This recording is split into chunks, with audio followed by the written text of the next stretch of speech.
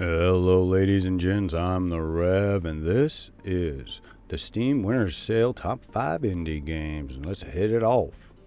First up is Dead Cells, made by Motion Twin, and is currently $12.97 USD. And it's an action platformer that has all kinds of goodies to keep you busy. And I've put probably a good 30 to 40 hours into this game, and it is continually challenging and difficult. It has ultra hard bosses, but most of the individuals and things that you fight in this do have set attack patterns so you can learn from them. Once again, this is Dead Cells. Pamela is next, and if you're looking for a game that you can have a little bit of input into, the devs are very open it is currently in early access, and the only game on this list in early access is made by NVYVE Studios. It's currently 1749, and it is a first-person action shooter, all kinds of good things mixed into one. You'll want to check it out. Number three spot, The Surge. A game made by Deck 13 Studios. It's currently half price. That's right, 50% off, only $19.99 USD and it is a sci-fi themed Dark Soul-esque game. I mean, literally, if you play Dark Souls, this is a, almost exactly the same type of setup. But the big difference I found was instead of the fights taking maybe 30 seconds, they'll take 20 seconds. So it's a little quicker paced and it's a lot more fun. Now, this is one of the games that I am currently doing a full playthrough on. It does have some awesome DLC called A Walk in the Park. That's only $14.99, and I'm telling you, it is a blast. So if you enjoy Dark Souls or games like Dark Souls, this would be the one to pick up on the sale.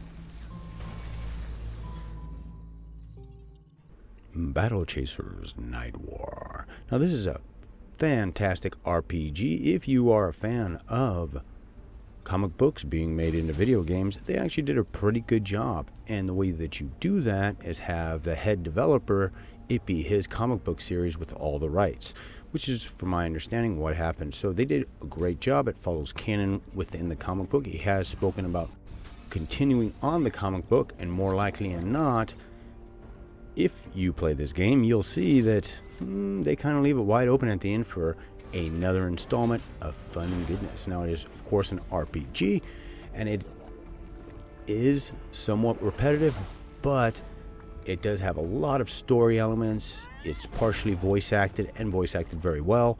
It's a decently long game. It's a lot of fun. Definitely deserves the number two spot.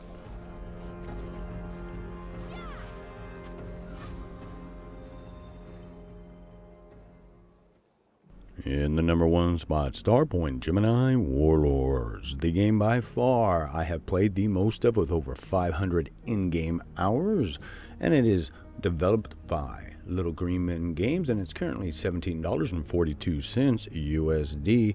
And oh boy, where do I start with this one? It has got everything you want if you like playing space games. It is a sim slash third person capital ship slash base building slash upgrades. It has got a huge amount of content, things to do, places to go, a beautiful backdrop. The game by far deserves the first position. The devs also developed this game from their first game, or I'm sorry, their second game, Starpoint Gemini 2. They took all the ideas from the early access process, smashed them together, shook it up, and this is the result. It is a fantastic game if you enjoy playing any type of space game. More likely than not, this will suck you in. Now, I do have a full guide series, I have playthroughs.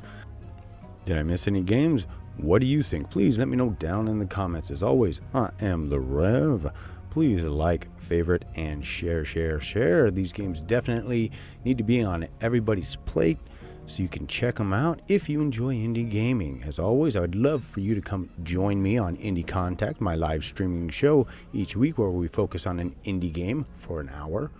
So keep your heads down, your guns up, and I'll see you again a real damn soon.